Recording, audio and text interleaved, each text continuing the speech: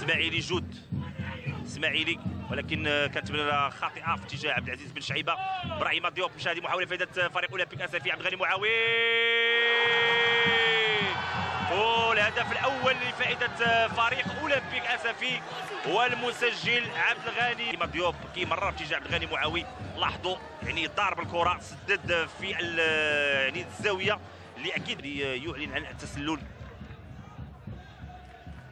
كرة في وسط الميدان ياسين البيساطي اتجاه محمد أمين البقالي بيساطي البيساطي بإمكانه التمرير كيمرر في الجهة اليسرى صعود ديال يحيى عطية الله يحيى عطية الله بإمكانه أنه يسداد كيسداد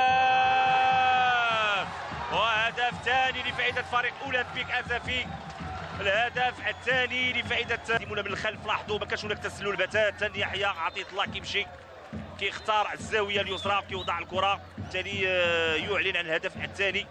الهدف أكيد غادي يزيد من صعوبة المهمة والمأموريه بعد ما منح ضربة جزاء لفائدة آه، فريق أولمبيك أسفي. لاحظوا لاحظوا العرقلة كانت واضحة للمهاجم يحيى كوليبالي. الكرة. إسماعيل كيتمكن من التسجيل. اذا آه، هدف أول لفائدة فريق اتحاد الزموريدي الخميسات خروج حمزة حمودي هذه محاولة.